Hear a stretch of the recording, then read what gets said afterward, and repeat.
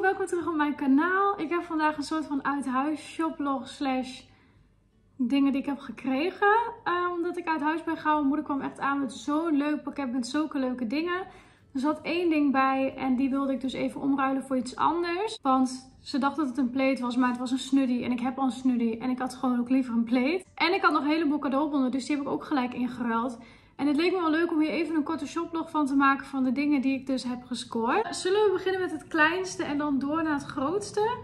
Beetje zo'n volgorde doen? Of eerst wat ik heb gekregen en dan wat ik zelf heb gekocht? Nou, ik begin gewoon. Uh, als eerste heb ik deze kerstster van Pip Studio.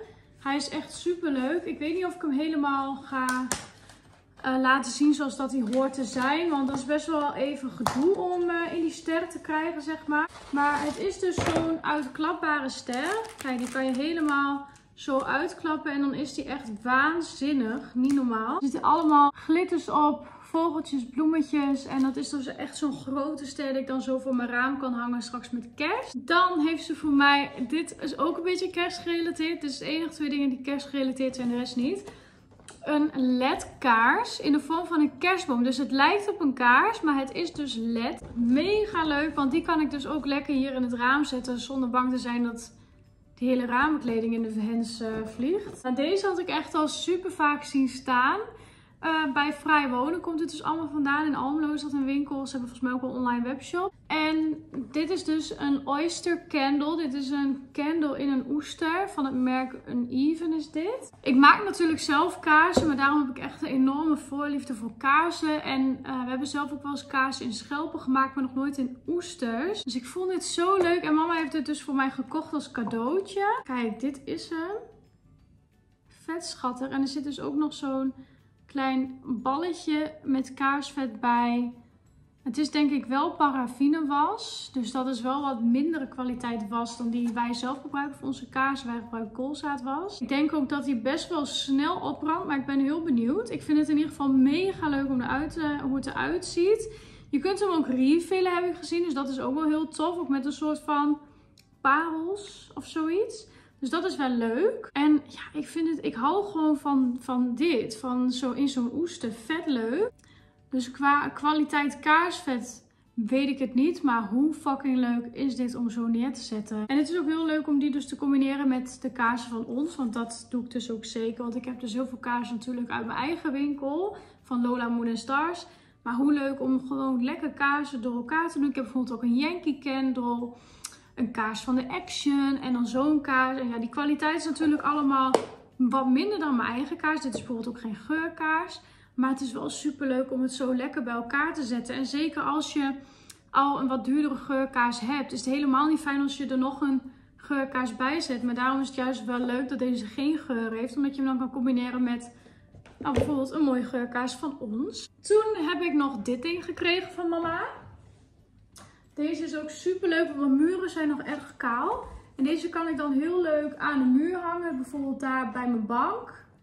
En het is dus helemaal zo'n lekker structuur. Het lijkt een soort van papier maché. En dit was echt gewoon zoiets wat ik zocht. Ik zocht echt gewoon iets leuks aan de muur met structuur. Ik weet niet waarom, maar dat vind ik heel tof. En het past helemaal bij de stilo van wat ik eigenlijk in mijn hoofd heb. Ehm, dus daar ben ik ook helemaal blij mee. Want ik probeer dat dus nog steeds heel erg te evenaren. Dat bohemian-achtige met, ja, hoe noem je het? Ik weet niet, gewoon met heel veel van dat wit. Met zo'n structuur en zo. En bouclé, een beetje dat. Heel veel dat. Ik kan het verder niet uitleggen.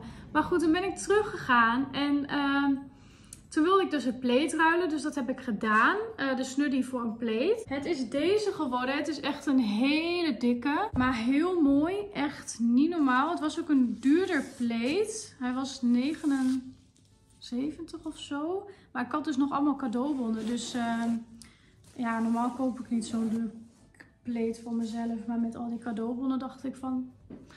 Nou, let's do it.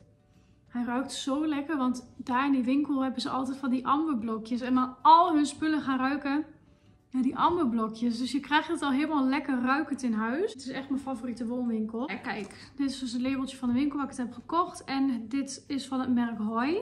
Weet niet, ik ken het niet, maar uh, Ja, het is een heel mooi pleed en hij was ook nog reversible. Deze kant is wit met groen. En deze kant is groen met wit. Dus dat is wel heel leuk. En ik vond die franjes ook heel leuk, want dat past natuurlijk helemaal bij de bohemian vibe.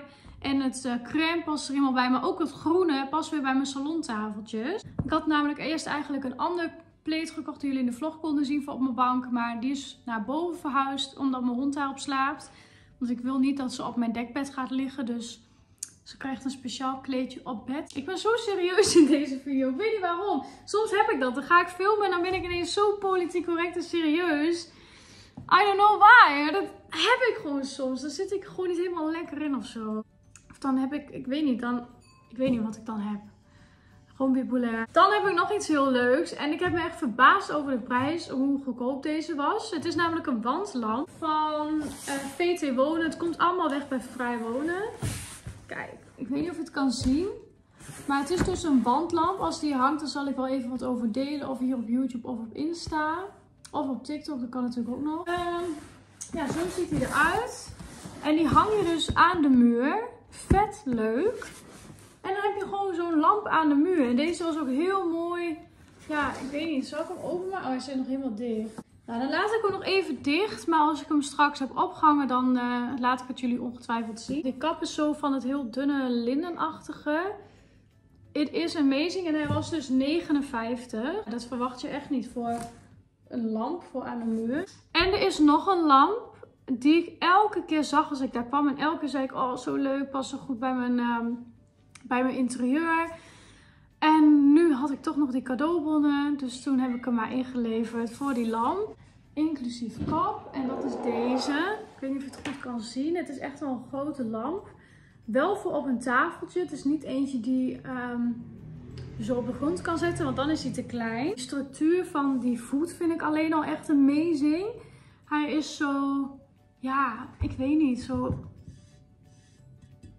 Hoor je dat? Echt waanzinnig. En de kap heeft dus een soort bouclé stof. Ik weet niet of je het kan zien. Kijk, dit is een beter shot. Dat heeft dus een soort bouclé en dat heeft mijn bank ook. Dus dat staat er helemaal leuk bij, denk ik. Waar ik die wil neerzetten, dat weet ik nog niet precies, maar hij moest gewoon mee. Ze heeft zelfs het lampje erin gelaten, fucking lief.